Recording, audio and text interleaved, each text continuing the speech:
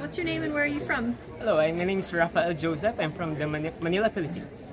What was interesting or inspiring about the last session you Well, attended? uh, the last session was about emerging leaders, and what really resonated with me was the uh, the legal uh, information literacy for children. It was really very important and uh, striking, actually.